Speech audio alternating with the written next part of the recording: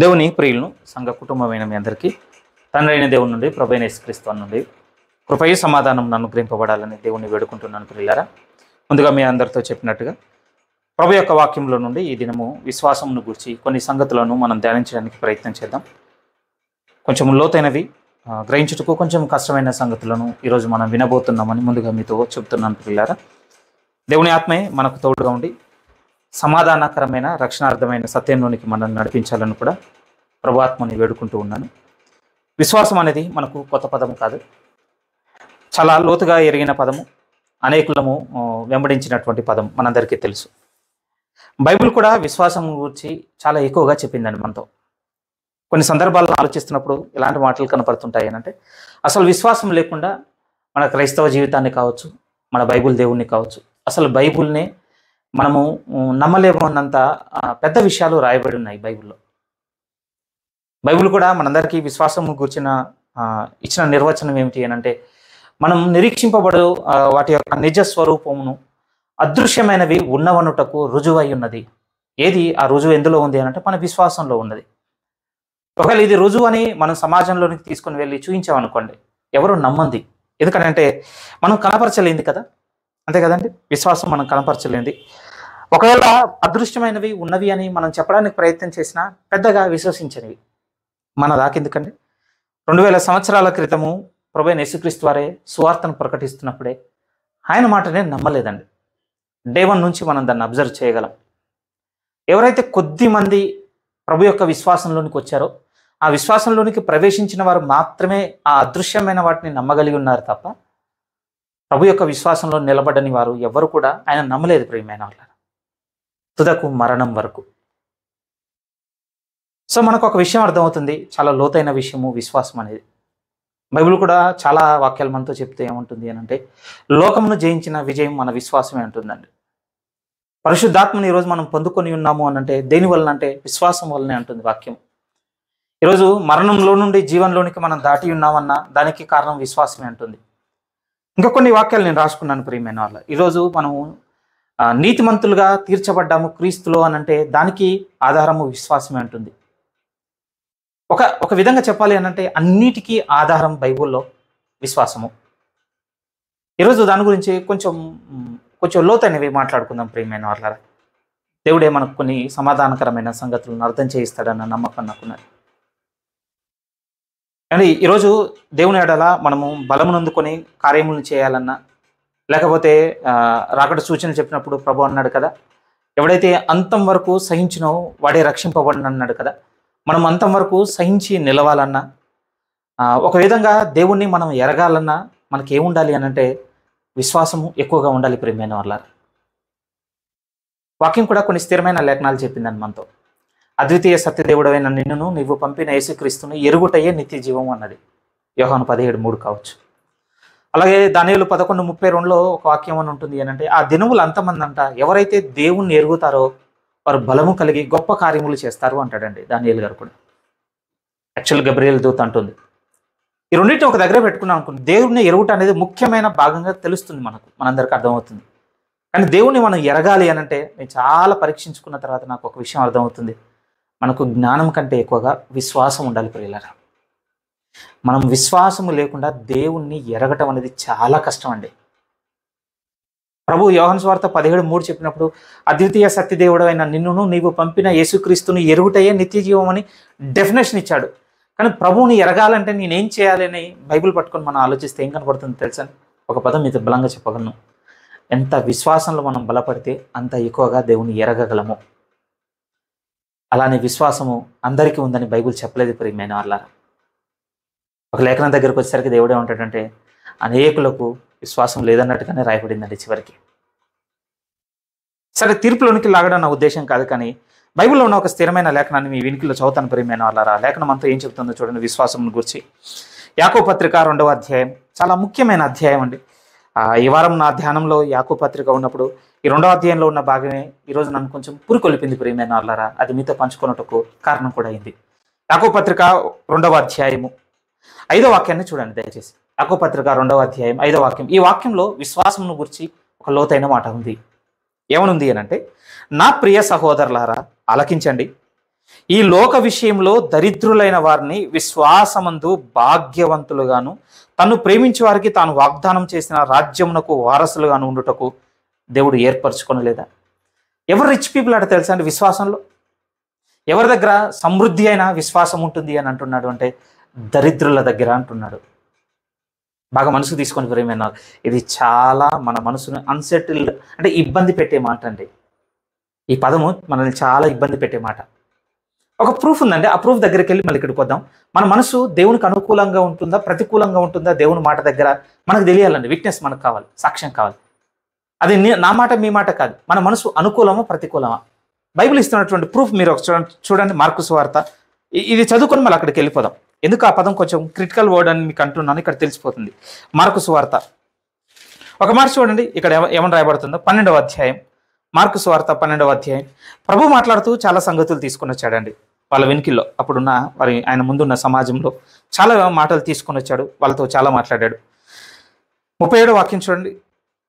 దావీదు ఆయనను ప్రభు అని చెప్పుచున్నాడే ఆయన ఎలాగూ అతని కుమారుడని అడిగాడు.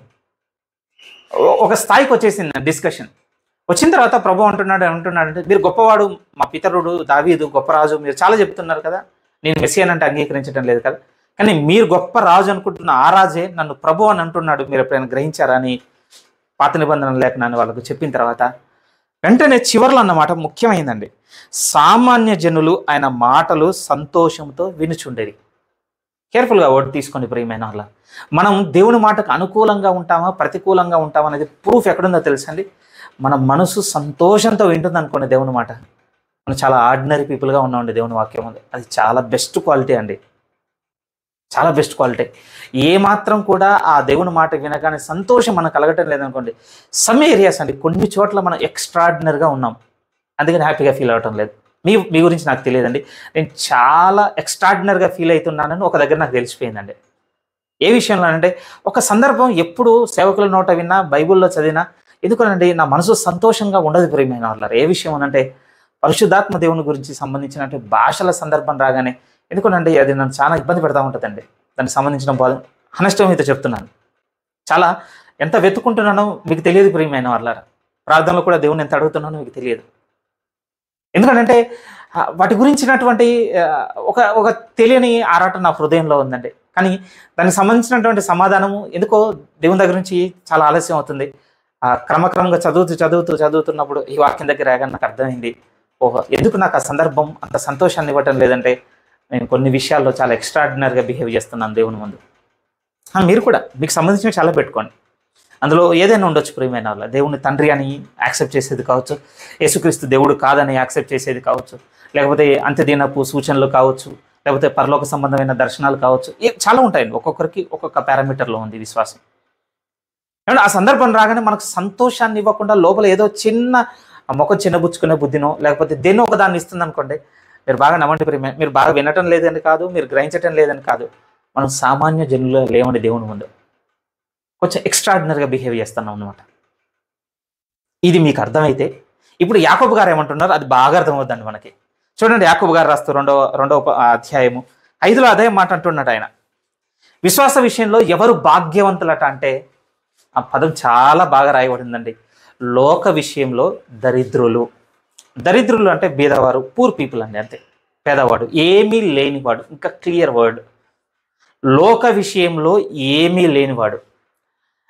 ఏమి లేనివాడు అన్న ఇంటెన్షన్లో ఏంటి బ్రదర్ మీ ఇంటెన్షన్ అంటే ఇప్పుడైతే పర్టికులర్గా మీ డబ్బు గురించి అయితే నేను మాట్లాడట్లేదు. అలానే మాట్లాడట్లేదు కదా అని లోక విషయంలో డబ్బు లేదని మాత్రం మీరు అనుకోవద్దు. ఉంది ప్రేమైన వాళ్ళ లోకస్వార్థ పద్నాలుగు శిష్యులకు ప్రభువు చెప్తూ సూచనలు శిష్యులకు ఉండవలసిన క్వాలిటీస్ అన్ని రాస్తున్నప్పుడు ఆయన అన్నమాట ఏంటంటే మీకు కలిగి ఉన్నదంతయు మీరు విడిచిపెట్టకపోతే తుదకు నాకు శిష్యులు కానేరారు అన్నాడు. కలిగి ఉన్నది అంతయు అన్న దాంట్లో మాకు లోక సంబంధంగా చాలా కలిగి ఉన్నాయండి. ఆ జాబితా చదివితే ఫ్యామిలీని ఇంక్లూడ్ చేశాడు మన సెల్ఫ్ని ఇంక్లూడ్ చేశాడు. చివరికి మన చేతుల కష్టంతో సంపాదించిన మన పొజిషన్స్ అంటాం కదా మన ఆస్తులు ఇంకేమనుకో మనకు కలిగి ఉన్నదాన్ని కూడా మెన్షన్ చేశాడు. కానీ ఈ లోక విషయంలో దరిద్రులైన వాడట దేంట్లో భాగ్యవంతుడంటే విశ్వాస విషయంలో భాగ్యవంతుడండి లోక విషయంలో దరిద్రుడైన వాడు చాలా సామాన్యుడి ప్రియమైన వాళ్ళ చాలా ఆర్డినరీ పర్సన్ అండి. అతనికి ఏం బాగా అర్థమవుతుందట తెలుసా? ఇంకా ఏం బాగా దొరుకుతుందట అంటే విశ్వాసం బాగా దొరుకుతుందట అండి. వాడికి దొరికితే నాకు దొరకపోయినా పర్వాలేదని మనం అనుకుందాం. నేను పరిపూర్ణంగా నమ్ముతున్నాను ప్రియమైన వాళ్ళ విశ్వాసంలో భాగ్యవంతుడు మాత్రమే దేవుణ్ణి ఎరగగలడు. బైబుల్ నాలెడ్జ్ ఇక్కడ చాలా చిన్నదండి. విశ్వాసం ముందు.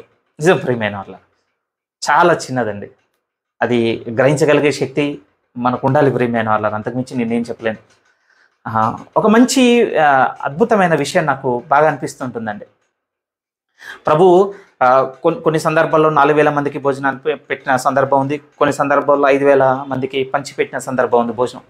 అక్కడ మనకు డాక్యుమెంట్ చేయబడిన ఒక చిన్న పదం ఏమిటి అంటే ఒక పిల్లవాని యొద్ద మాత్రమే రెండు రొట్టెలు ఐదు చేపలు ఉన్నవన్న భాగం మనకు బైబిల్లో ఇంక్లూడ్ చేయబడింది ప్రియమైన వాళ్ళ. నాకు ప్రాపర్గా గుర్తుకు లేదు చాలా కాలం క్రితం విన్న సందర్భం అది.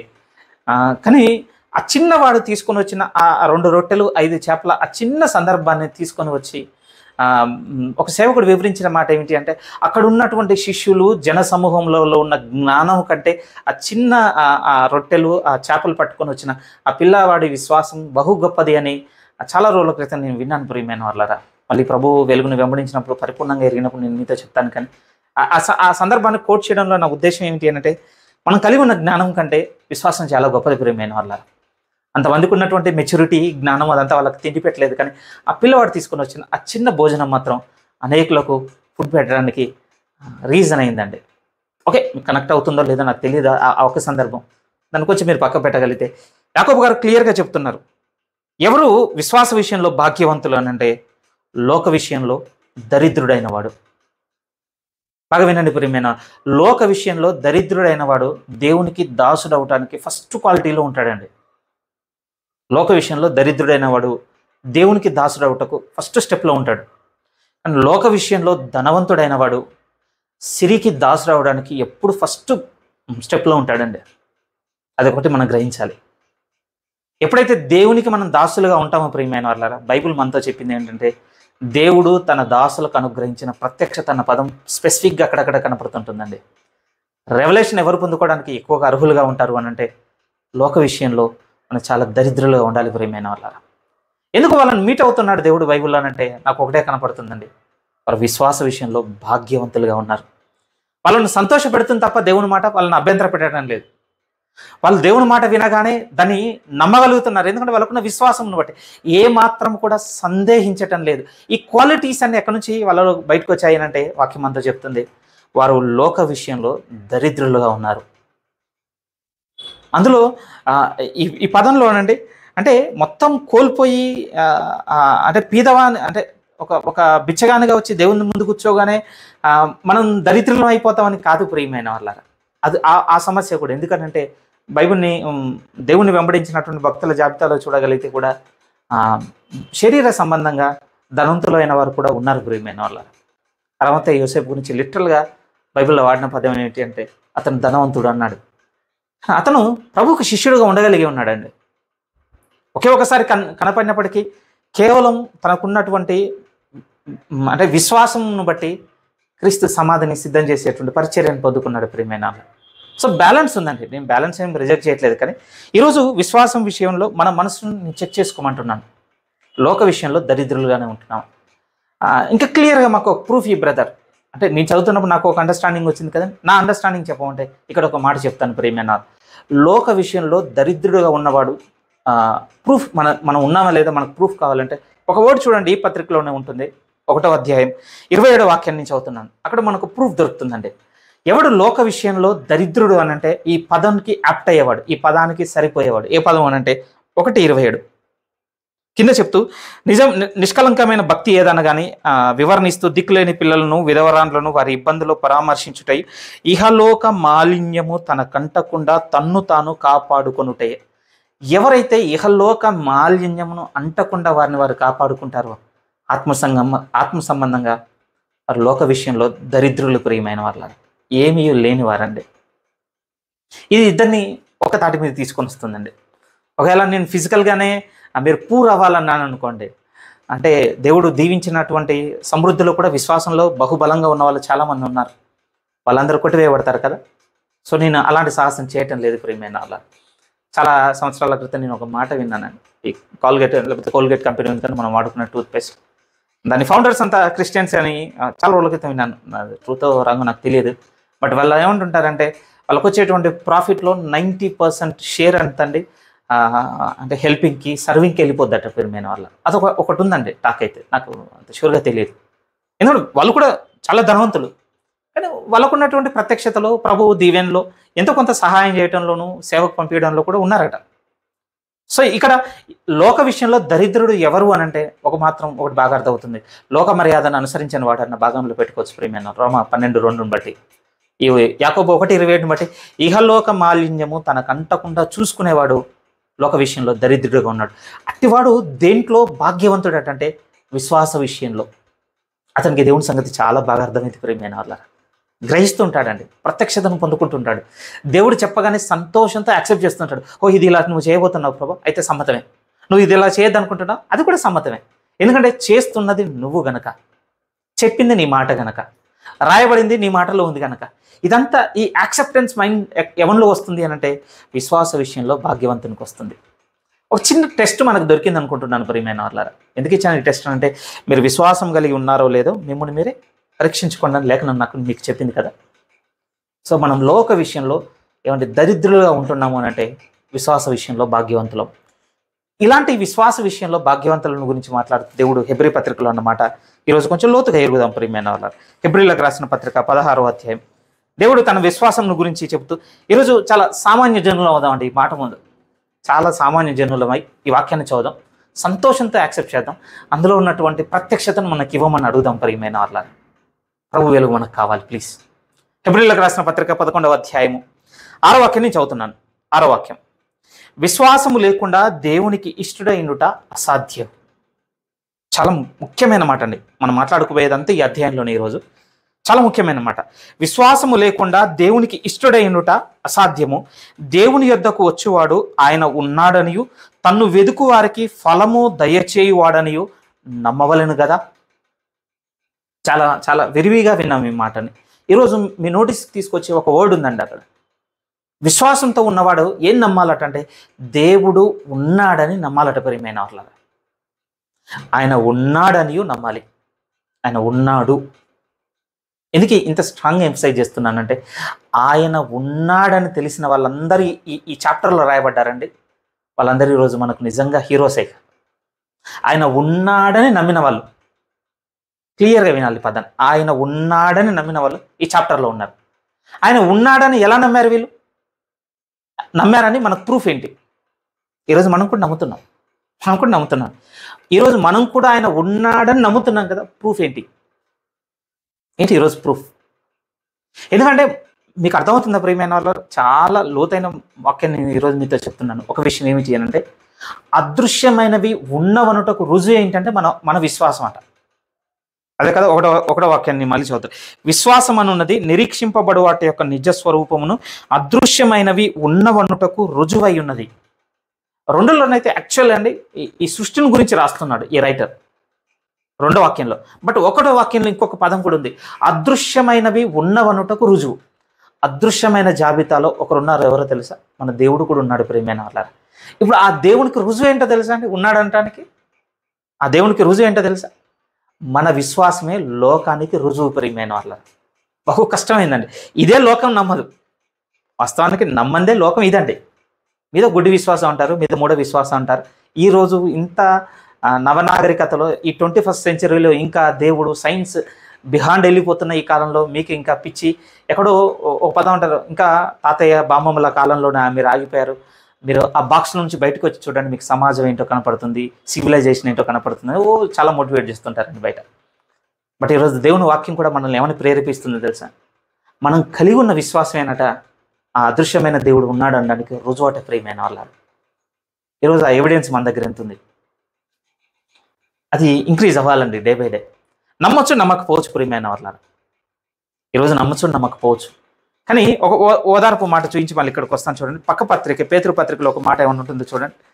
మేము చాలా బాగుంటుందండి ఈ మాట కూడా మనసుకు తీసుకుంటే. రెండవ అధ్యాయం. పేతృ రాస్తూ తన మొదటి పత్రిక రెండవ అధ్యాయం.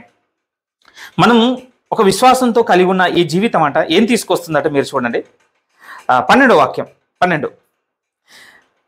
పేతురు రాస్తూ రెండవ పత్రిక మొదటి పత్రిక రెండవ అధ్యాయం. పన్నెండులో ఏమనుంటుంది అని అంటే అన్యజనులు మిమ్మును ఏ విషయంలో దుర్మార్గులని దూషించరు. అది ఇప్పుడు జరుగుతుందండి. జాగ్రత్తగా వినండి. ఇప్పుడు జరుగుతుంది.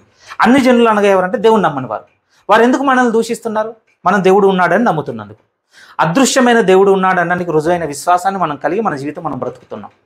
ఇలా బ్రతుకుతున్నందుకు అన్ని జనులు మనం దూషిస్తున్నారు. ఇప్పుడైతే ఇది జరుగుతుంది. బట్ కానీ తర్వాత చూడండి. వీటి ఇక వీటిని బట్టి దర్శన దినమున దేవుణ్ణి మహిమపరిచినట్లు.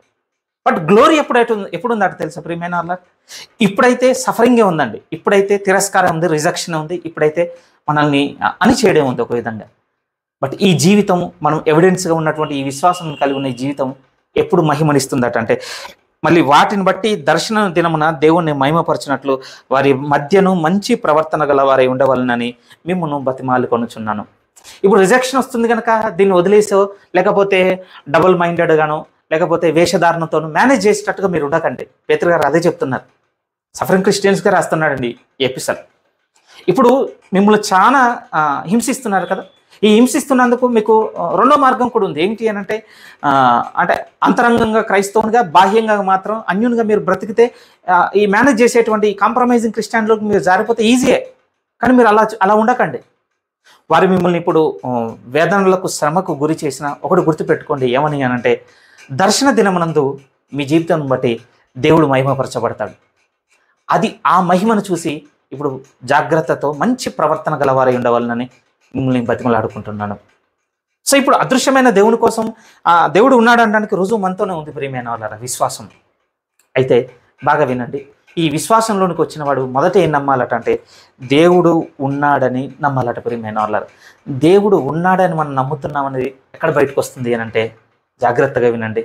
ఎప్పుడూ కూడా విశ్వాసము దేన్ని బట్టి పరిపూర్ణం అవుతుందని బైబిల్ చెప్పింది అంటే క్రియలను బట్టే పరిపూర్ణమవుతుందని బైబిల్ చెప్పిందండి. విశ్వాసం ఎప్పుడు కూడా క్రియలను బట్టే పరిపూర్ణమవుతుంది బైబిల్ చెప్పింది. ఇప్పుడు దేవుడు ఉన్నాడని మనం నమ్ముతున్నాం అనేది ఎప్పుడు మన మనలో పరిపూర్ణం అవుతుంది అని అంటే ఆ విశ్వాసంతో నమ్మిన దేవుని తరపున మనం చేయవలసిన క్రియలను చేసినప్పుడే దేవుడు ఉన్నాడని మనం నమ్ముతున్నట్లు ప్రియమైన వాళ్ళారా ఇది ఈ వారంలో చాలా బలంగా నా హృదయానికి తాకిందండి. సారథి సంఘంతో కూడా ప్రభైన యేసుక్రీస్తు వారు ఏమంటారు అంటే చావనై ఉన్న మిగిలిన వాటిని బలపరచము. బాగుంటుంది. చూడండి ఒకసారి. ప్రకటన గ్రంథము ప్రకటన గ్రంథము మూడవ అధ్యాయం. ప్రకటన గ్రంథం మూడవ అధ్యాయం. మూడవ అధ్యాయం మొదటి నుంచి రాస్తుంది సార్థి సంఘంతో. ఈ రాస్తున్నప్పుడు ఏమని చెప్తున్నాడు అని అంటే చూడండి ఆయన అంటున్నాడు ప్రభు నీ క్రియలను నేను ఎరుగుదును. ఎలా ఉందటంటే జీవించుచున్నావన్న పేరు మాత్రం ఉన్నది కానీ నీవు మృతుడవే. నీ క్రియలు నా దేవుని ఎదుట సంపూర్ణమైనవిగా నాకు కనపడలేదు గనక ఇదిగో మెలుకోగా జాగరూకుడవై ఉండి చావనై ఉన్న మిగిలిన వాటిని బలపరచుము. ఆల్రెడీ చాలా చచ్చిపోయాయి. ఆల్మోస్ట్ చాలా చచ్చిపోయాయి. ఇంకా కొన్ని మాత్రమే ఉన్నాయి. అట్లీస్ట్ ఇప్పుడైనా ఆ మిగిలిన చావనై ఉన్న ఆ మిగిలిన వాటినైనా బలపరుచుకో. యాకో పత్రిక రెండో అధ్యాయం ధ్యానంలో నాకు అదే తెలిసింది ప్రియమైన వాళ్ళ చాలా చంపేసుకున్నాను. చాలా చాలా చాలా. Day by day day by day లోకము నా శరీరేచ్ఛలు ధనమోహము స్త్రీ మోహము ఈ సంఘర్షణలు గుర్తింపు ఆధిక్యత సప్రెసు ఎన్ని ఇవన్నిట్లో అండి అవసరాన్ని బట్టి అనుకూలతను బట్టి కొన్ని కొన్ని కొన్ని కొన్ని Christian values క్వాలిటీస్ని day by day day by day పార్షియల్గా చంపుకుంటూ చంపుకుంటూ చంపుకుంటూ ఒక న్యూట్రల్ క్రిస్టియానికి వచ్చేసాను. లోకానికి దేవునికి మధ్యలో నిలబడే ఒక దారిలో. కానీ ఈ వారంలో అర్థమవుతుంది. ఇప్పటికైనా ఈ చావనై ఉన్న ఆ మిగిలిన వాటిని నేను బతికించుకోలేదనుకోండి. నిజం ప్రియమైన వాళ్ళరా దేవుడు ఉన్నాడని మనం నమ్ముతున్న మన నమ్మకానికి రుజువే లేనట్లు. కేవలం నోటి మాట ఉంది. తీతి ఒకటి పదహారు మనకుంది కదా? వారు దేవుణ్ణి ఎరుగుదమని చెప్పుకొందురే కానీ తమ క్రియల వలన దేవుణ్ణి ఎరగమట్టు ఈరోజు ఏమంటే ఈ వాక్యం నాతో మాట్లాడింది ప్రియమైన వాళ్ళారు అందుకోసం మీతో చెప్తాను. ఇది అంటే ఓపెన్గా వచ్చేసి ఒక శర్మన్గా మీతో కూడా పంచుకుంటుంది కాదండి. చాలా బేసిక్ ఒక చిన్న చిన్న విషయాన్ని ఎందుకు ఇలా మాట్లాడుతున్నా అంటే చాలా మనసుకు తీసుకోవాల్సిన లోతు కనపడుతుంది ప్రేమైన వాళ్ళ ఇందులో ఆయన ఉన్నాడని మనం నమ్మవలను. దీనికి సంబంధించి యాకోబు గారు ఇంకేమంటున్నాడు చూడండి రెండవ అధ్యాయంలోనికి మీరు రాగలిగినట్లయితే. చాలా కాంట్రవర్షియల్ థీమ్ అండి. దయచేసి దీన్ని అంటే వివాదాస్పద వివాదాస్పదంగా వినకండి ప్లీజ్ ఎందుకంటే ఇది ఎప్పటికీ వివాదాస్పదమే. నేను చూపెడుతున్న సందర్భం ఇంత చిన్నది కాదు ప్రియమైన వాళ్ళ. మార్టిన్ లూథన్ గారే చాలా చాలా అభ్యంతరపడండి. ఆల్మోస్ట్ ఈ అధ్యాయం బైబిల్లో ఉండొద్దు అన్నటువంటి ఆర్గ్యుమెంట్లోకి వెళ్ళిపోయాడటండి ఆయన. ఆర్గ్యుమెంటే జరిగింది అట్లా లిటరల్గా ఆయన ఉన్నప్పుడు. పదిహేను ఫిఫ్టీన్త్ సెంచరీలో. ఆయన ప్రాబ్లం ఏమిటి అంటే పౌలు ఏమంటాడు అనంటే అంటే మనిషి క్రియలను బట్టి నీతిమంతుడిగా తీర్చబడాడు విశ్వాసం బట్టి నీతిమంతుడిగా తీర్చబడతాడు కదండి రోమ నాలుగు రాసింది పౌలు గారు. ఆ తర్వాత ఎఫ్ఎస్సి రెండు రాసింది పౌలు గారే. కానీ యాకబ్ గారు మళ్ళీ ఏం చేశాడు అంటే ఆ సిమిలర్ టైంలో ఒక ఐదు ఐదు సంవత్సరాలు పది సంవత్సరాలు అటు ఇటు మళ్ళీ యాకబ్ గారు తీసుకొని వచ్చి అసలు క్రియలు లేకుండా విశ్వాసం మృతం కాదా? అబ్రహాము తన క్రియల మూలముగా నీతిమంతుడిగా ఎంచబడ్డా ఏ విధంగా ఎంచబడ్డా అని ఒక చిన్న విధంగా ఓ, చిన్నదేం కాదు చాలా కాంట్రవర్షియల్ థీమ్ రాసేసాడండి ఈరోజు అదే చూస్తాం బట్ నేను దాన్ని టచ్ చేయలేను ప్రియమైన వల్ల నాకు వెలుగు లేదండి. కానీ చదువుదాం చూడండి. ఏముంది ఈ అధ్యాయంలో? ముఖ్యమైనది ఈరోజు మనకు మనకు అవసరమైంది మీరు చూడగలిగితే. క్రియలను గురించి ఏం చెప్తున్నాడంటే పద్నాలుగు నుంచి నేను చదువుతున్నాను. రెండవ అధ్యాయం పద్నాలుగు. నా సహోదరులారా క్రియలు లేనప్పుడు ఎవడైనాను తనకు విశ్వాసము కలదని చెప్పినడలా ఏమి ప్రయోజనం? మీరు చూడగలుగుతున్నారా? ఏ ఎందుకు ఎందుకు? నాకు విశ్వాసం ఉందని నోటితో చెప్పుకుంటే సరిపోదా? యాకోబు గారు అంటున్నారు. యాకోబు గారు కాదు ఇక్కడ ఇంకా లిటరల్గా తీసుకోవాల్సింది. పరిశుద్ధాత్మ దేవుడే అంటున్నాడు. ఏమంటున్నాడు అనంటే క్రియలు లేనప్పుడు ఎవడైనను తనకు విశ్వాసము కలదని చెప్పిన ఎడల వానికి ఏం ప్రయోజనం? అట్టి విశ్వాసము అతన్ని రక్షింపగలదా? బిగ్ క్వశ్చన్ అండి ఇదైతే. క్వశ్చన్ చేశాడు ప్రియమైన దేవుడే. అట్టి విశ్వాసం అతను ఏమైనా రక్షింపగలదా? ఎందుకు ఈ మాట అంటున్నాడంటే విశ్వాసాన్ని డీవాల్యూ చేయటం లేదండి. విశ్వాసం యొక్క విలువను తగ్గించటం లేదు. ఈ అధ్యాయం రాస్తూ. విశ్వాసం పరిపూర్ణతను చెప్తున్నాడు యాకోబు గారు. జాగ్రత్తగా వినండి ప్రియమైన వాళ్ళ. విశ్వాసాన్ని డీవాల్యూ చేయటం లేదండి. పౌలు యొక్క వెలుగు వేరుగా ఉంది యాకోబు గారి వెలుగు వేరుగా ఉందని ఆయన విశ్వాసం యొక్క విలువను తగ్గించటం లేదు. విశ్వాసం యొక్క పరిపూర్ణత ఏంటో రాస్తున్నారు యాకోబు గారు. ఈ తేడా గ్రహించాలండి ప్లీజ్ దీన్ని లూతర్ గారు గ్రహించలేదని నన్ను క్వశ్చన్ చేయకండి ప్లీజ్ నాకు తెలియదు ప్రియమైన వాళ్ళారా. ఆయన వెలుగు వేరు ఆయన ఉన్న కాలం వేరు ఆయన ఆత్మ నడిపింపు వేరు ప్రియమైన వాళ్ళారా. కానీ ఇక్కడ యాకోబు గారు ఏం రాస్తున్నారు? విశ్వాసం యొక్క పరిపూర్ణత మనతో చెప్తున్నాడు.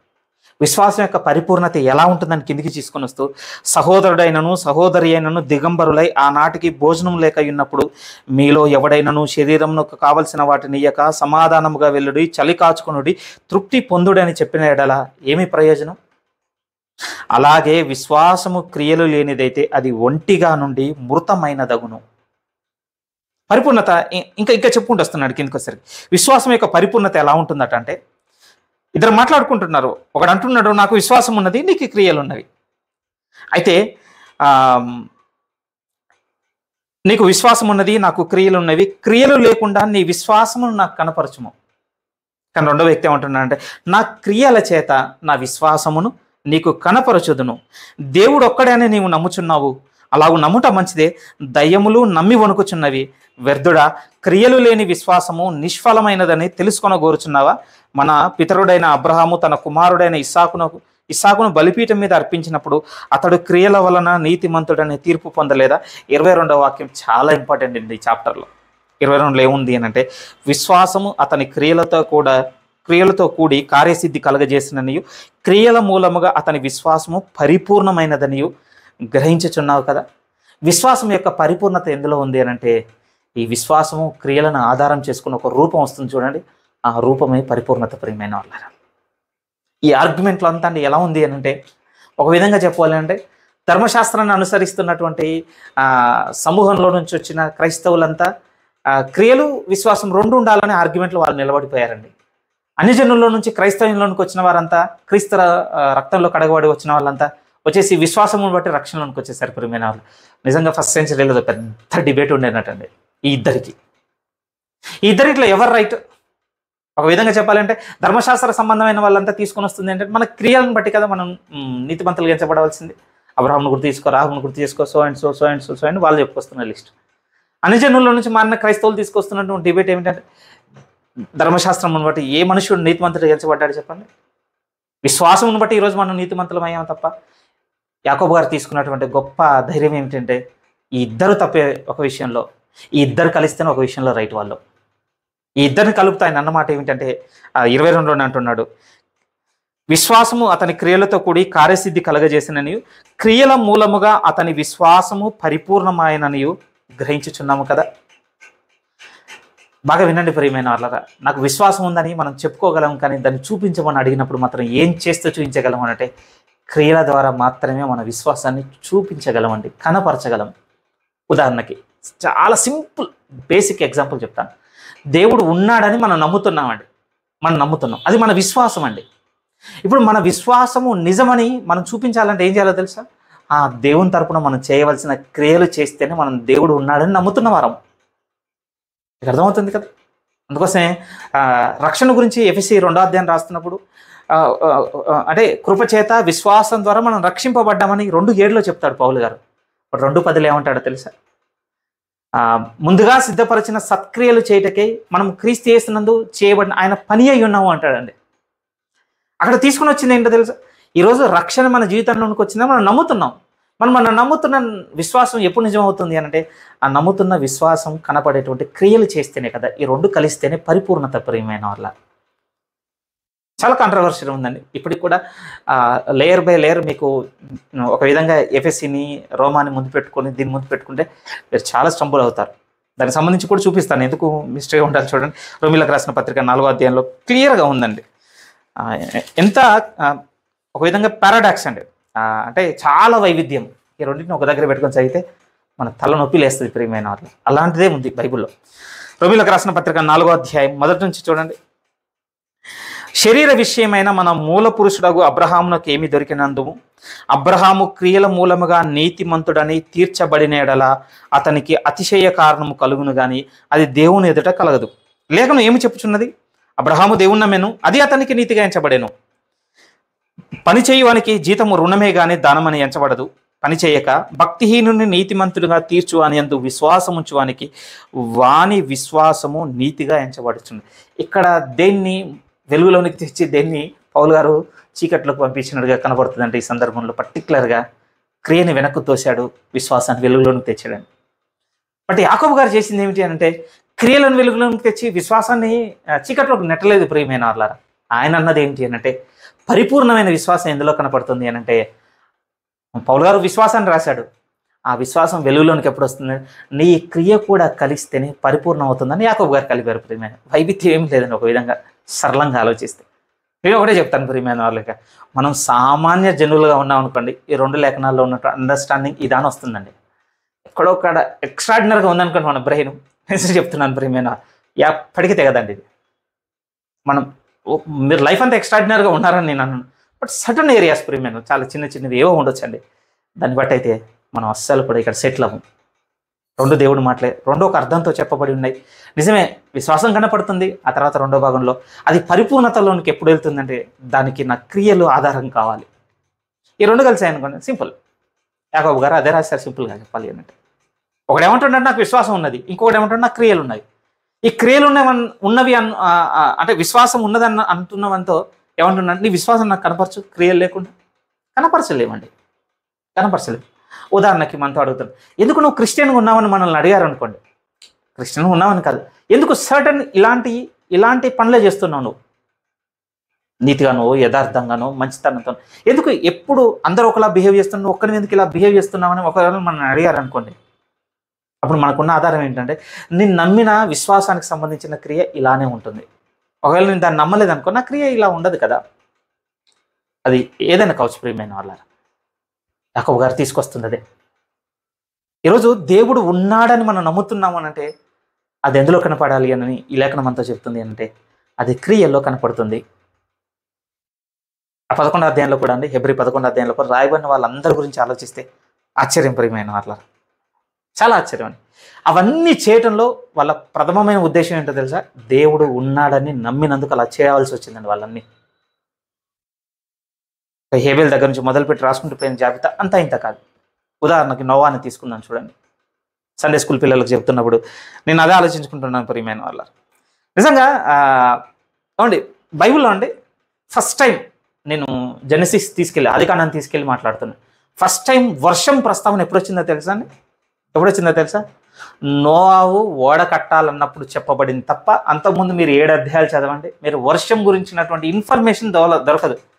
హార్డ్లీ అండి రెండో అధ్యాయము అంటే నరుణ్ణి చేసిన తర్వాత మాట చదువుదాంలేండి ఎందుకు బాగుంటుంది? రెండో అధ్యాయం. మీరు చూడండి. ఫస్ట్ టైం ప్రస్తావన ఎక్కడుందో మీరు చూడాలి.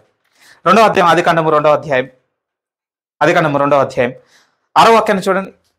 ఐదు ఆరులో ఏమని ఉంటుంది అని అంటే నాలుగు నుంచి చదువుతాను. దేవుడైన యహోవా భూమిని ఆకాశము చేసిన దినమందు భూమి ఆకాశమును సృజించినప్పుడు వాటి ఉత్పత్తి క్రమం ఇదే. అది వరకు పొలమందలి ఏ భూ- పొలమందలి ఏ పొదయు భూమి మీద ఉండలేదు పొలమందలి ఏ చెట్టును మొలవలేదు. ఏలయనగా దేవుడైన ఏహోవా భూమి మీద వాన కురిపించలేదు. ఫస్ట్ టైం వాన అన్న వర్డ్ ఇక్కడ కనపడిన తర్వాత మళ్ళీ ఎక్కడ కనపడుతుందంటే ఏడో చాప్టర్ ఏడో అధ్యాయంలోనే కనపడుతుందండి. ఆ మధ్యలో పడిందా పడలేదా? నో క్లూ అండి. బైబిల్ మాట్లాడలేదని మనం కూడా మాట్లాడద్దు. ప్లీజ్ కొద్దిసేపు. నిజంగా ఒకసారి ఇమాజిన్ చేయండి. ఇమాజినేషన్ నోవావు ఓడకట్టి వాన పడేంత వరకు అప్పటి వరకు ఉన్న జనులు ఏ సంవత్సరంలో కూడా వర్షం చూడలేదు అనుకోండి వర్షం చూడలేదు. నో విశ్వాసంతో ఒక మాట నమ్మాడు ప్రియమైన జలప్రలయం రాబోతుంది. ఎక్కడి నుంచి వస్తుంది అని అంటే దేవుడు ప్రచండమైన వర్షం కురిపించబోతున్నాడు జలప్రలయం రాబోతుంది. అందుకే నేను ఓడ కడుతున్నానని ఇంటి దగ్గర కడుతున్నాను అనుకో జనులు ఎలా నవ్వుండొచ్చు? నవాను చూసి. ఎందుకంటే అక్కడో ఇక్కడ ఏదైనా చిన్న ప్రూఫ్ ఉన్నా నమ్మేవాళ్ళేమో మేబీ సరే పోనీలే అనుకుంటున్నాడు కదా ఈ సంవత్సరం కాకపోతే వచ్చే సంవత్సరం విపరీతమైన వానలు పడి ఆయన అనుకుంటున్నాడు ఏదో ఆయన ఇల్లు కూలిపోతుంది పడవలో పోతున్నాడు కావచ్చు అనుకోవచ్చు.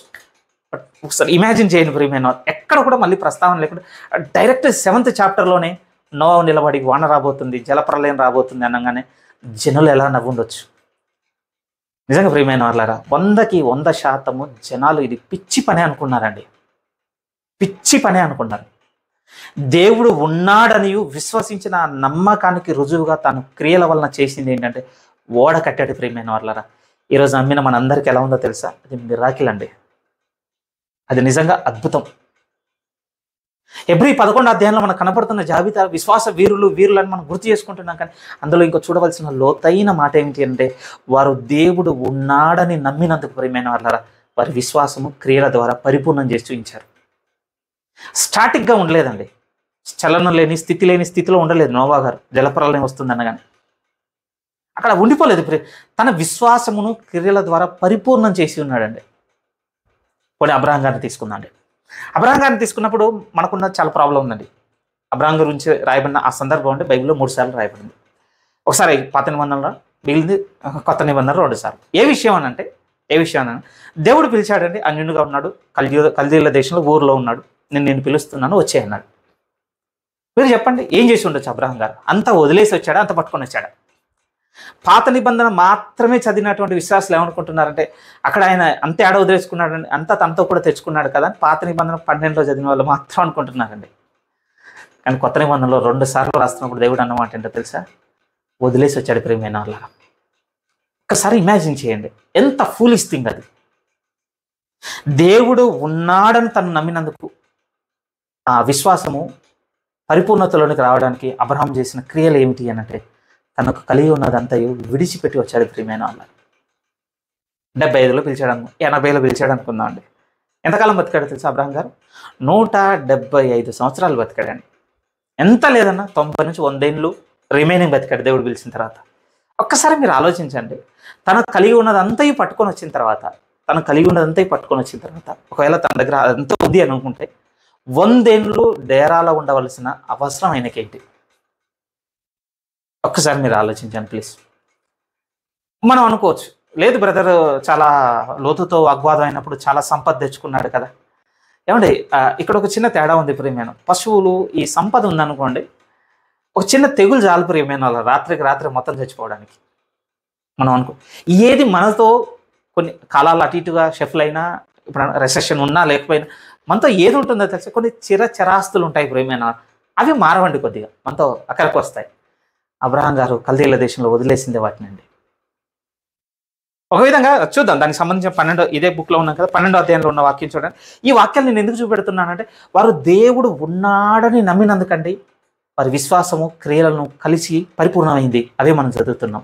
స్టాటిక్గా లేరు.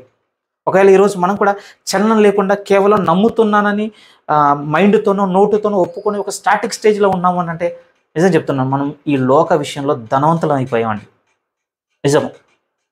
ధనవంతులం అయిపోయాం అది గ్రహించాలి. ఒకవేళ అలా లేదు నేను స్టాటిక్గా లేను నా విశ్వాసం నా క్రియల ద్వారా పరిపూర్ణం అవుతుంది అంటే మీరు ధన్యుల ప్రియమైన అలారా దేవుని ఆత్మ మిమ్మల్ని ఎంత ఆశీర్వదించిందని నేను స్థుతిస్తానండి. చూడండి ఆది పన్నెండో అధ్యాయం.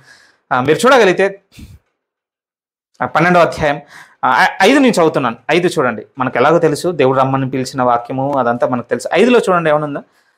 అది కాండము పన్నెండు పన్నెండవ అధ్యాయం అబ్రాము తన భార్య అయిన షారాయిని తన సహోదరుని కుమారుడైన లోతును హారాన్లో తానును వారును ఆర్జించిన యావదాస్తిని వారు సంపాదించిన సమస్తమైన వారిని తీసుకొని కానాను దేశమునకు వెళ్ళుటకు బయలుదేరి కానాను దేశమునకు వచ్చేది ఆ, ఉందండి మనకు బైబిల్లో ఓల్డ్ టెస్ట్మెంట్లో రాయబడిన దాంట్లో ఏమన్నది ఏంటంటే సంపాదించిన అక్కడ లిట్- ఆర్జించిన యావదాస్తిని పట్టుకొని వచ్చినట్టుగా ఉంది. బట్ ఇది మళ్ళీ కొత్త నిబంధనలు ప్రస్తావిస్తున్నప్పుడు ఎలాంటి మాటలు ఉన్నాయో చూస్తారా? స్టెఫెన్ ప్రసంగంలో చూడండి ఏమని ఉంటుందో స్టెఫెన్ అపోస్తుల కార్యములు ఏడో అధ్యాయం. అపోస్తుల కార్యములు ఏడో అధ్యాయం. ఈ వాక్యాలు చూపించడంలో వైవిధ్యం ఉందని నాకు చెప్పడం నా ఉద్దేశం కాదు కానీ దేవుడు ఉన్నాడని నమ్మినందుకండి ఆ నమ్మకం వారి క్రియల్లో కనపడుతుంది ప్రియమైన వాళ్ళ ఇవి మనకు టెస్ట్ అండి. ఈరోజు మనం కూడా అదే విశ్వాసంలోకి ప్రవేశించాం కదా. అది మన క్రియల్లో ఉందనడానికి ఈ టెస్ట్ అంతే. ఏడవ అధ్యాయం. అది అపోస్తుల కార్యములు ఏడవ అధ్యాయం. ఇక్కడ మాట్లాడుతూ అంటున్నాడు చూడండి రెండో వాక్యం నుంచి. స్టెఫెన్ అంటాడు సహోదరులారా తండ్రులారా వినండి. మన పితరుడైన అబ్రహాము హారాంలో కాపురం ఉండకు మనకు మెసపోతములో ఉన్నప్పుడు మహిమ కలిగిన దేవుడు అతనికి ప్రత్యక్షమే నీవును నీ దేశమును నీ స్వజనమును స్వజనమును విడిచి బయలుదేరి నేను నీకు చూపింపబోవు దేశమునకు రమ్మని అతనితో చెప్పాను. అక్కడేమో పట్టుకొని వస్తున్నట్టుగా ఐదో వాక్యంలో చదివామండి. కానీ పరిశుద్ధాత్మ దేవుడు ఏమేమి సర్టిఫై చేస్తున్నాడు చూస్తున్నారా? విడిచి వచ్చాడు అటు ప్రియమైన వాళ్ళ. ఒక ఇలా అనుకుందాం. అది రాయించింది ఆత్మ ప్రేరణతో మోషే గారే రాశారు. ఇది రాసింది కూడా ఆత్మ ప్రేరణతో లుక్క గారే రాశారు కానీ ఒకసారి ఆలోచించండి. అబ్రహాం ఇంటెన్షన్ అయితే మొత్తం కలిగి బయలుదేరడానికి బయలుదేరి ఉండొచ్చు. కానీ మిడిల్లోనే దేవుడు ఖచ్చితంగా వాటన్నిటిని వదిలేసి మళ్ళీ రమ్మని పిలుపునిచ్చి ఉండొచ్చు ప్రియమైన. వైవిధ్యం అయితే ఉంటుందండి బైబిల్లో. ఈ మధ్యలో టైం గ్యాప్ ఉంది కదా. ఎంత ప్రయాణం కదా. ఎందుకంటే తండ్రి బతుకున్నప్పుడు కొంత దూరం వచ్చి హారాన్లోనే కాపురం ఉన్నారు దేవుడు పిలిచిన తర్వాత కూడా.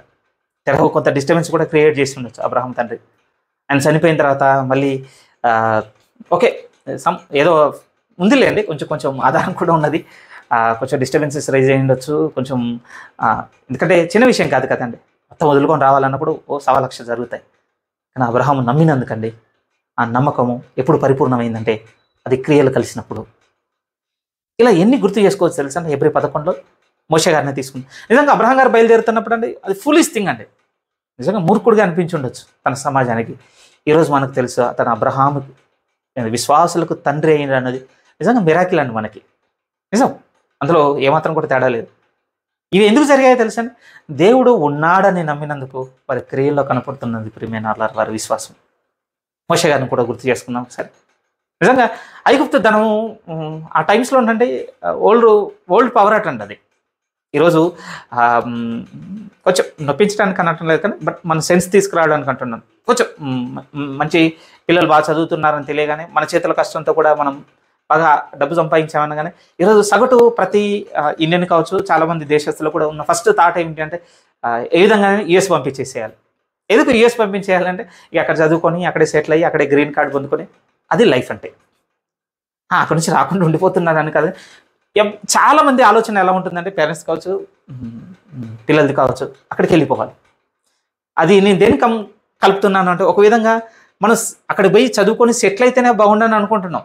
అదే యుఎస్ ప్రెసిడెంట్ అయ్యే అవకాశం వచ్చింది అనుకోండి. సేమ్ మోషే గారి సిచ్యువేషన్ అలా ఉండే ప్రీమియం ఆ టైమ్స్లో ఐగుప్తు రాజు అయ్యే అవకాశం ఉన్నది. దాన్ని వదులుకున్నాడటండి. అది వదులుకుంటున్నప్పుడు ఎలా ఉండొచ్చు మన వాళ్ళు మళ్ళీ నేను చెప్తాను. అది నిజంగా ఫూలిస్ థింగ్ ఏంటండి మూర్ఖమైన కార్యం అంతే. కానీ దేవుడు ఉన్నాడని నమ్మినందుకండి ఆయన దాన్ని వదులుకొని క్రీస్తు విషయమైన నింద గొప్ప భాగ్యం అని ఎంచుకున్నది. ఈరోజు అది నాకు మిరాకిల్ అండి. విశ్వాసంలో ఉన్న మీకు మిరాకిల్ ప్రియమైనారు మోష గారి బిహేవియర్ అసలు ఎలా వదులుకుంటాడంత? ఎబ్రి పదకొండులోని పద్దామని చాలా క్యారెక్టర్స్ ఉన్నాయి. అలా మాట్లాడుకుంటూ పోతుందండి మీకు మీకు అర్థమైపోయింది అధ్యాయం చూడవలసిన వెలుగు. ఒకసారి నైట్ వీలైతే మీరు తీసి జస్ట్ అలా చదువుకుంటూ వెళ్ళిపోండి అండి అలా చదువుకుంటూ వెళ్ళిపోండి. చాలా కనెక్ట్ అవుతారు ప్రియమైన వాళ్ళు మీరు ఆ చాప్టర్కి దేవుడు ఉన్నాడని నమ్మిన ఆ విశ్వాసం వారి క్రియలు పరిపూర్ణమైందా? ఇంత ఘనంగా ఉన్నాయి క్రియలు. ఆశ్చర్యం కలిగింది ప్రియమైన వాళ్ళ ఈ అధ్యాయాన్ని చూసినాం ఎబ్రిలకు రాసిన పత్రిక పదకొండవ అధ్యాయం చాలా ఫేమస్ వర్డ్ ఇరవై నాలుగు ఇరవై ఆరు వాక్యాలు చదువు మోషే పెద్దవాడైనప్పుడు విశ్వాసమును బట్టి ఐగుప్తు ధనము కంటే క్రీస్తు విషయమైన నింద గొప్ప భాగ్యం ఎంచుకొని అల్పకాలము పాపభోగం అనుభవించుట కంటే దేవుని ప్రజలతో శ్రమ అనుభవించుట మేలని యోచించి ఫరో యొక్క కుమార్ ఫరో కుమార్తె యొక్క కుమారుడిని అనిపించుకున్నటకు ఒప్పుకొనలేదు. ఎంత స్ట్రేంజ్ ఉంటుందో తెలుసా అండి? ఆ ఇంట్లో పెరిగిన మోషనేమండి అరణ్యంలోనికి వచ్చాడు. ఆ రాజ్యంలోని బానిసత్వంలో ఉన్న వాళ్ళు అరణ్యంలో నుంచి ఎక్కడ పోవాలనుకుంటున్నారు తెలుసా? మళ్ళీ ఐగుప్తుకు పోతే బాగుండు ఐగుప్తుకు పోతే బాగుండు. మీరు మీరు తేడా చూడాలి ప్రియమైన వాళ్ళకి ఆ ఇంట్లో రాజరికంలో పెరిగిన మోసేనేమో అరణ్యంలోకి వచ్చేసి బయటికి వెళ్ళిపోదాం అనుకుంటున్నాడండి. కానీ బానిసత్వంలో కఠిన బానిసత్వంలో ఉన్న వాళ్ళు బయటకు వచ్చి మళ్ళీ ఏమనుకుంటున్నారంటే ఇప్పుడు ఐగుపుతూ పోతే బాగుండు. దేవుడు ఉన్నాడని నమ్మినవని గుర్తులు ఇలా ఉంటాయి ప్రియమైన వాళ్ళ. ఈ జాబితా అంతా రాసి ముగింపులో చెప్పిన మాటలు ఏంటో తెలుసా అండి? చాలా బాగుంటాయండి. అంటే ఇంత గొప్పగా దేవుడు ఉన్నాడని నమ్మి ఇన్ని కార్యములు చేసినందుకు భూ సంబంధంగా చాలా హెల్దీ లైఫ్ చాలా సేఫ్ లైఫ్ బతికారని కాదు ప్రియమైన వాళ్ళ వీళ్ళంతా. మనం చూడగలిగితే కిందికి కిందికి రాసుకుంటూ వస్తూ ముప్పై ఐదు నుంచి. ముప్పై ఐదు వరకు వారి విశ్వాసంతో వారు పొందుకున్నవి వారు చేసినవి రాసి స్త్రీలు మృతులైన తమ వారిని పునరుత్థానం వల్ల మరల పొందిరి. కొందరైతే మరీ శ్రేష్టమైన పునరుత్థానం పొందగోరే విడుదల పొందనులక యాతన పెట్టబడి ఇక టోన్ చేంజ్ అండి సడన్గా ఈ చాప్టర్లో ఎడ్ షిఫ్ట్ అవుతుంది చూడండి. మరికొందరు తిరస్కారములను కొరడా దెబ్బలను మరి బం బంధకములను ఖైదును అనుభవించిరి. ఎవరండి వీళ్ళంతా? అన్ఫెయిత్ పీపుల్ కాదండి అన్ఫెయిత్ఫుల్ పీపుల్ కాదు. విశ్వాసంలో ఉన్నందుకు వచ్చిన జీవితం అండి ఇది. ఈరోజు మన దగ్గర పెద్ద క్వశ్చన్ ఉంటుంది. ప్రేమైన వాళ్ళ దేవుడు ప్రేమ అయితే ఎందుకు ఇలా అవుతుంది? దేవుడు మనల్ని ప్రేమించే దేవుడైతే ఇలా ఎందుకు చేస్తాడు? నిజమేనండి. లోక విషయంలో ధనవంతుడైన వాడి ప్రశ్న ఇదండి. కానీ లోక విషయంలో దరవ దరిద్రులైన వారు వారి వారి పొందుకున్న జీవితం ఇక్కడ రాయబడుతుందండి. కిందికి వెళ్ళేసరికి మొత్తం ఎలా ఉంటుందంటే రాళ్ళతో కొట్టబడ్డారట రంపములతో కోయబడ్డారట శోధింపబడ్డారట ఖడ్గంతో చంపబడ్డారట గొర్రె చర్మములను మేక చర్మములు వేసుకొని దరిద్రులై ఉండి శ్రమపడి హింస పొందుచు అడవులలోను కొండల మీదను గుహలలోను సొరంగములను తిరుగులాడుచు సంచరించారట. ఎవరండి వీళ్ళంతా? అవిశ్వాసులు కాదు. అవిశ్వాసులు కాదండి. నిజంగా నాకు రెవల్యూషన్ కనపడుతుందండి ఇక్కడ. మీకు సమ్మతించే మనసు ఉందో నాకు లేదో తెలియదు కానీ. రెవల్యూషన్ ఉందండి ఇక్కడ. ఈరోజు సంఘం ఎదుర్కొనే శ్రమలలో ఇవి ఉండవు అనుకుంటున్నారు ప్రియమైన వాళ్ళు? ఉన్నాయండి. ఎందుకు ఉంటుంది వాళ్ళకి మనకి సేమ్ అనంటే మనము విశ్వాసులైనందున వారు కూడా విశ్వాసులైనందున. అటు వారితో చెప్పిన గొప్ప మాట ఏమిటి అని అంటే వారు గుహల్లోనూ సొరంగంలోనూ తిరుగులాడుచు సంచరించిరి. అట్టి వారికి ఈ లోకము యోగ్యమైనది కాదు. వీళ్ళండి ఎలిజిబుల్ నిజం ప్రియమైన వాళ్ళ? ఇదంతా ఒక్క వర్డ్ మీద నేను కడుతున్నానండి చాప్టర్లో ఉన్నదాన్ని. ఏ మాట మీదంటే వారు దేవుడు ఉన్నాడని నమ్మినందుకు వారి జీవితంలో ఎదుర్కొన్నవి వారు దేవుడు ఉన్నాడని నమ్మినందుకు ఆ విశ్వాసము పరిపూర్ణంగా కనపరచుటకు వారు చేసిన క్రియలు ఇక్కడ రాయబడ్డాయి ప్రియమైన వాళ్ళ క్లోజ్ చేస్తున్నానండి టైం అయింది. చూడండి ఏప్రిల్ మళ్ళీ యాకు పత్రిక రెండవ తేదీలోకి మీరు రాగలిగినట్లయితే ఈ ఈ లేఖను చూడండి ఎంత చక్కగా మనకి ఇప్పుడు అర్థమవుతుంది. యాకో పత్రిక రెండవ అధ్యాయం ముందుగా పద్దెనిమిది చదువుతున్నాను. పద్దెనిమిది. పదిహేడు పద్దెనిమిది. అలాగైతే విశ్వాసము క్రియలు లేనిదైతే అది ఒంటిగా ఉండి మృతమైనదగును. అయితే ఒకడు నీకు విశ్వాసం ఉన్నది నాకు క్రియలు ఉన్నవి. క్రియలు లేకుండా నీ విశ్వాసము నాకు కనపరచుము. నేను నా క్రియల చేత నా విశ్వాసము నీకు కనపరచును నా క్రియల చేత నా విశ్వాసం నీకు కనపరచు నిజం ప్రియమైన వాళ్ళు ఈ రెండింటిని వేరు చేయడానికి అసలు లేదని పాసిబిలిటీ. మరి పౌలు గారు రాశారు కదంటే అది అది సాల్వేషన్ కాన్సెప్ట్లో అండి. అది అది రక్షణ అన్న భాగంలో రాస్తున్నాడు. ఇక్కడ విశ్వాసం పరిపూర్ణ అయ్యే భాగం గురించి యోహన్ యాకబు గారు రాస్తున్నారు. రెండింటి కాంటెక్స్ట్ వేరుగా ఉంది ప్రియమైన వాళ్ళ. రక్షణ దగ్గర అండి మన క్రియలు ఏం లేవు. సంపూర్ణంగా క్రీస్తు చేస్తున్నందున్న విశ్వాసం మనల్ని ఈరోజు రక్షించింది. కానీ ఇక్కడ కాంటెక్స్ట్ ఏంటంటే సాల్వేషన్ కాదండి ఫెయిత్ ఫెయిత్ గురించి యాకోబు గారు రాస్తున్నప్పుడు ఏమంటున్నాడు అంటే ఇది ఎప్పుడు పరిపూర్ణం అవుతుందంటే మన క్రియలతో కలిస్తేనే. మనకున్న విశ్వాసానికి మన క్రియలు కూడా ఏకీ కలవాలి కలిస్తేనే. అందుకోసం మళ్ళీ ఇరవై రెండులో అన్నమాట. చివరిలో. విశ్వాసము అతని క్రియలతో కూడి కార్యసిద్ధి కలగజేశాను. కార్యసిద్ధి అన అకాంప్లిషన్ అనుకోండి సాఫల్యత సఫలత విజయం అన్న పదం కూడా పెట్టుకోండి. ఎప్పుడు పరిపూర్ణమైంది ఎప్పుడు తన ఎందుకు క్రియ చేసింది అని అంటే విశ్వాసము తన క్రియలు రెండు కలిసినప్పుడు కార్యసిద్ధి కలిగింది అంటున్నాడు. క్రియల మూలముగా అతని విశ్వాసము పరిపూర్ణమైనదనియు గ్రహించుచున్నావు కదా? ఆ వర్డ్ ఎంత బాగుంది చూడండి. పరిపూర్ణమైనది విశ్వాసం ఎప్పుడు? రెండు కలిసినప్పుడు. ఇలా కిందికి తీసుకుని వెళ్ళి చెప్పిన మాటలే ప్రియమైన వాళ్ళరా అప్పుడు అన్నమాట మనం చక్కగా చూడొచ్చు. కాబట్టి అబ్రహాము దేవుని నమ్మాను. అదే అతనికి నీతిగా ఎంచబడినను లేఖనం నెరవేర్చబడింది. ఏ విషయంలో? అబ్రహాము ఇసాకును బలిచ్చే విషయంలో. అతను బలిపీఠం మీద బలిచ్చినందుకే కదా దేవుడు అతన్ని నీతిమంతుడిగా ఎంచింది అని రాసుకొని వచ్చాడు. అలాగే దేవుని స్నేహితుడని కూడా పేరు పొందుకున్నాడు. ఆ తర్వాత ఇరవై నాలుగు మనుషుడు విశ్వాస మూలమున మాత్రము కాక క్రియల మూలములను నీతిమంతుడని ఎంచబడునని మీరు దీని వలన గ్రహించితిరి. కొంచెం కొంచెం డిఫరెంట్గా ఉంటుందండి. ఇరవై నాలుగు మళ్ళీ చదువుతారు మనుష్యుడు విశ్వాస మూలంన మాత్రము కాక క్రియల మూలంనను నీతిమంతుడని ఎంచబడను. ఫర్ ఎగ్జాంపుల్ ఇలా తీసుకుందాం. అసలు క్రియలు లేకుండా విశ్వాసంతో మనం ఉన్నాం నన్ను నీతిమంతుని చేయంటే అవ్వడట. అదే మాత్రము కాక. రెండో భాగంలో అంటున్నాడు క్రియల మూలములను నీతిమంతుడని ఎంచబడును. మళ్ళీ కేవలం క్రియల వల్లనే విశ్వాసం పక్కకి నెట్టి కేవలం క్రియల వల్లనే కూడా నీతిమంతుడు అవుతానని కాదు. విశ్వాసము క్రియలు రెండు కలిస్తేనే ఆ మనుషుడు నీతిమంతుడు అవుతాడని మనం అంటే మనం గ్రహించితిమి కదా మీరు గ్రహించి కదా ఇరవై ఐదు కూడా అంటున్నాడు. అటువలనే రాహబోన వేష కూడా దూతలను చేర్చుకున్నప్పుడు వేరొక మార్గమున వారిని వెలుపలికి పంపివేసినప్పుడు క్రియల మూలముగా నీతి మంత్రాలని ఎంచబడింది కదా. ప్రాణము లేని శరీరం ఎలాగో మృతమో? క్రియలు లేని విశ్వాసము మృతము. ఒకే ఒక ఉద్దేశం ఉంది ప్రేమైన వాళ్ళారు? ఈరోజు ఈ లేఖనమును పంచుకోవడంలో. మనం దేవుణ్ణి దేవుడు ఉన్నాడని నమ్ముతున్నాం కదా. అయితే చావనై ఉన్న మిగిలిన వాటిని బలపరుచుకున్నామండి కొన్ని క్రియలు చేస్తున్నాయి. మనం వెనక తిరిగి చూసుకోవాలి ప్రియమైన వాళ్ళ అవకాశవాదులుగా మారుతూను అవసరానికో లేకపోతే లోక సంబంధమైన ప్రయారిటీస్కి మనం చోటిచ్చో దేవుని కంటే ఎక్కువగా మనల్ని మన కుటుంబాన్ని మన ధనాన్ని ప్రేమించో ఒక కాంప్రమైజింగ్ క్రిస్టియన్లోకి మనం పోతున్నప్పుడు మనలో కొన్ని బలంగా ఉండవలసిన కొన్ని చచ్చిపోతున్నాయి వాల్యూస్ లేకపోతే క్రియలు అనుకోండి. ఆ మిగిలిన చావునైనా మిగిలిన వాటిని బలపరుచుకున్నట్టుకే ఈ మాట మాట్లాడుతున్నాను ప్రియమైన మనం దేవుడు ఉన్నాడని నమ్మినట్లయితే ఒకరోజు నమ్మిన దేవుని నమ్మిన వారు చేసినవి వారి విశ్వాసం వారి క్రియల్లో పరిపూర్ణమైందండి. ఈరోజు మనం దేవుని తరపున మనం చేయవలసిన క్రియలు కూడా ఉన్నాయి ప్రియమైన వాళ్ళ అడుగుదామండి. నాకైతే ఒకటి కనపడిందండి. అంటే చాలా ఉన్నాయి బట్ ఇప్పుడు నేను ఎక్సర్సైజ్ చేయాల్సింది నాకు ఒకటి కనపడిందండి. ఇప్పుడు దేవుడు ఉన్నాడని నేను నమ్ముతున్నాను కదా అయితే నా- నేను నేను నా జీవితంలో ఇప్పుడు నేను పెట్టుకోవాల్సిన ఒక ఎక్సర్సైజ్ ఒకటి నేను నేను తెలుసుకున్నాను ప్రియమైన వాళ్ళ అది మరీ ముఖ్యంగా అండి మరీ ముఖ్యంగా నా నోరు గురించి నేను ఒకటి ఎరిగానండి వాస్తవానికి. అదే మూడో అధ్యాయంలో చదివినప్పుడు నాకు అర్థమైంది. అది నిరర్గలమైన దుష్టత్వం నాలుక గురించి చెప్పినప్పుడు. దాన్ని ఆపలేనట నేను. ఆపలేనంటే ఆపలేనని అర్థమవుతుంది సో ఇప్పుడు దీన్ని ఆపే క్రియ నా ఎందుకు కనపడుతున్నట్లయితే దేవుడు ఉన్నాడని నేను నమ్మినట్టు దానికి ప్రూఫ్ ఏమిటంటే నా నోట్ నుంచి వచ్చే ఇది కంట్రోల్ అవుతుంది. ఎందుకు ఎస్పెషల్లీ నువ్వు ఇప్పుడు నోరే తీసుకున్నావు బ్రదర్ అని అంటే మీతో ముందుగా చెప్పాను కదా.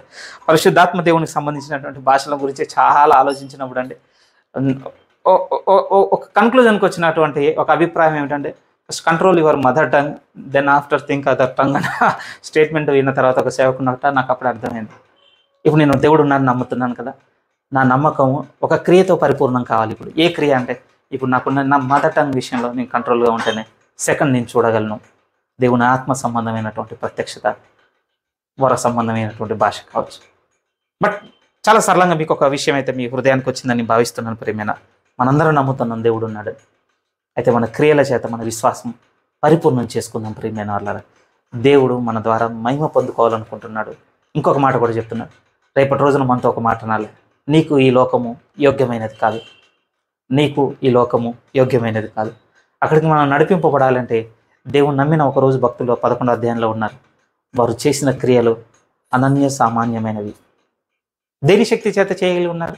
కేవలం దేవుడు ఉన్నాడని నమ్మినందుకు. బట్ ఈరోజు మనం మన మూమెంట్ ఏంటి? దేవుడు ఉన్నాడని నమ్ముతున్నందుకు. ఏంటి? స్టాటిక్గానే ఒక చలనం లేని స్థితిలో నుండి నోడుతూనే ఉన్నామా? నేను దేవుడు నమ్ముతున్నానని కేవలం చెప్పుకునే వారిగా దాన్ని మన జీవితంలో మన క్రియల్లో కనపరుస్తున్నాం. అది జస్ట్ చిన్న క్వశ్చన్ ప్రేమైన వాళ్ళకి దేవునాత్మ మీ హృదయమును ప్రత్యక్షత నుంచి మరింత వెలుగులోకి నడిపించాలి.